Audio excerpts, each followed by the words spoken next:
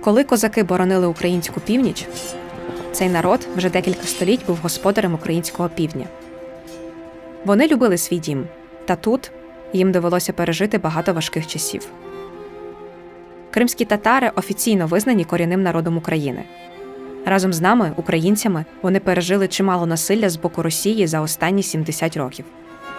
У 1944 році, коли кримських татар депортовували у віддалені райони Радянського Союзу, загинуло 46% народу. А у 2014 році їхню батьківщину окупувала Росія.